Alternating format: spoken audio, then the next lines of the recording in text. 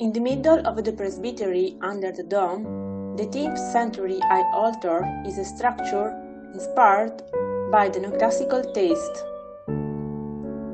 Under the altar table lie the bodies of Saint Fedele and Saint Carpoforo, martyrs of the first centuries, and on it there are the twelve apostles' faces, the four evangelists' busts, the statues of faith and hope.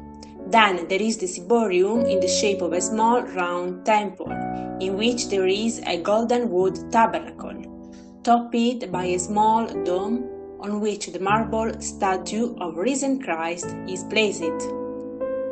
At the center of this complex altar, just halfway through the path from death to life, from the relics of the saints to the statue of the risen Lord, on a silver throne which was used for the exposition of the Blessed Sacrament, since 2014 there has been the crown of the thorns by Claudio Parmiggiani.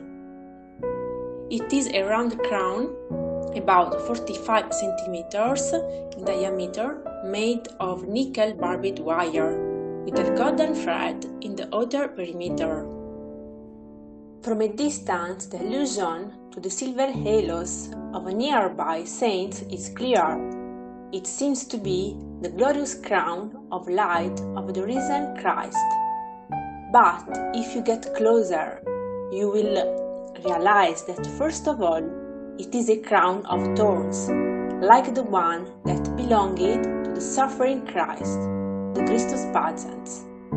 This barbed wire, which suggests division, separation, exclusion, is a clear symbolic recall of the Nazi concentration camps, of the people who looked for freedom without success, trying to overcome that wire but only finding death.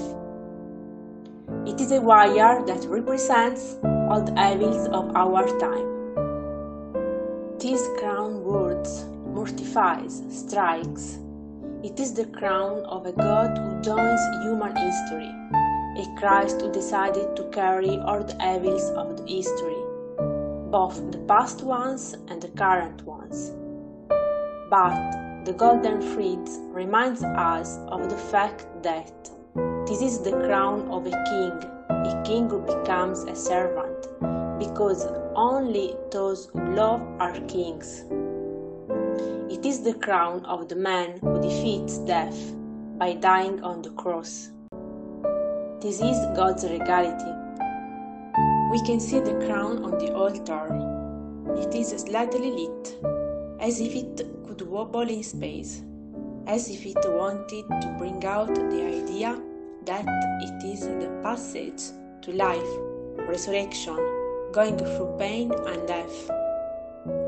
That way, the crown of thorns becomes the passage to the beyond, to eternal life.